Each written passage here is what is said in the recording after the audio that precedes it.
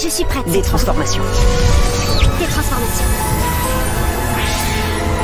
Tu vois C'est bien moi, Adrien Agreste. Et toi alors Dis quelque chose.